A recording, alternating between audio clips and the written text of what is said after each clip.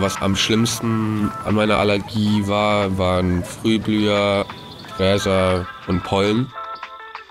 Was vor allem sehr nervig war, dass ich mich, wenn ich mich mit Freunden getroffen habe, eigentlich fast immer früher nach Hause gehen musste, weil meine Augen so zugeschwollen waren und meine Nase auch.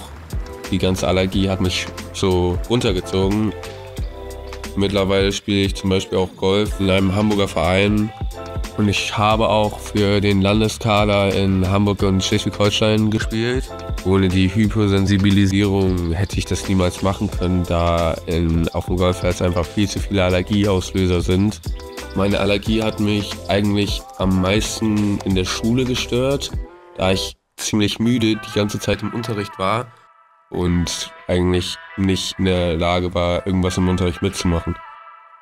Es ging halt sogar so weit, dass meine Lehrerin zu meiner Mutter gegangen ist und gefragt habe, ob mit mir alles gut sei. Glücklicherweise ist äh, eine Freundin meiner Mutter HNO-Ärztin und diese hat mitbekommen, äh, wie die Allergie mich beeinträchtigt und hat dann die Hyposensibilisierung vorgeschlagen. Das ist wirklich ein riesiger Unterschied zu früher. Ich habe eigentlich keine Beschwerden mehr und ich kann jetzt ohne Probleme Freunde treffen und rausgehen, so lange wie ich will ohne mir irgendwelche Gedanken zu machen um meine Allergie. Ich habe manchmal auch vergessen, wie schlimm das früher mal war, da es jetzt einfach quasi wie weg ist.